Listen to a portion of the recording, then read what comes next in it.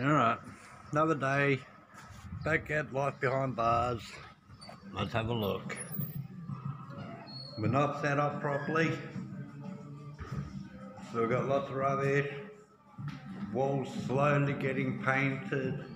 Doors still sealed up.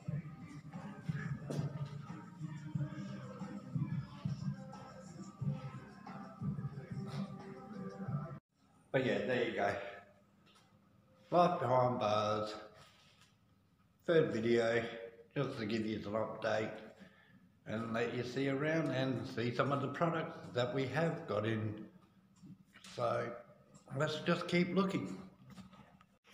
Let's see. We got the Colony 20 inch Horizon. We got the Colony 14 inch Horizon. Right off the back,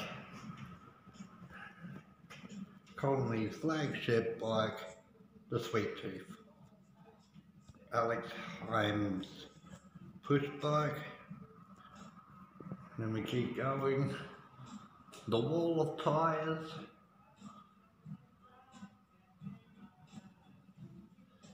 Moving across.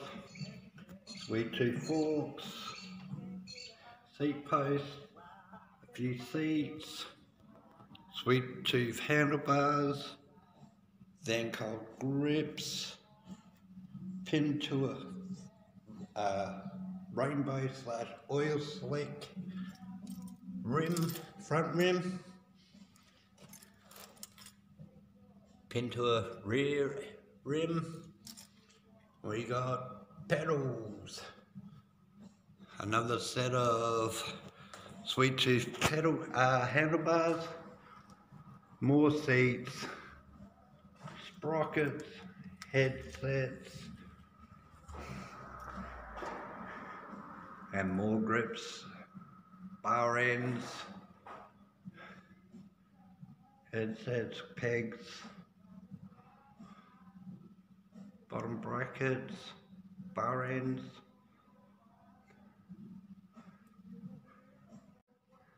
Uh, for the first time opening a bike shop, on a budget of zero dollars, I think I'm doing pretty good. Got a few second-hand decent bikes here. So, yeah, hopefully we'll be able to sell everything out quick.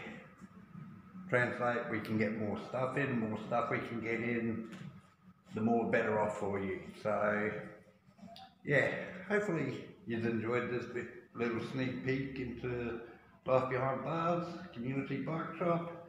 Not like, not that it's much at the moment, but we're getting there. Nice white wall. Ooh, that's going to look good for photos. Look at that. Whee, that's going to be good. So, until next time, keep riding, and I'll see you all next time. Peace out.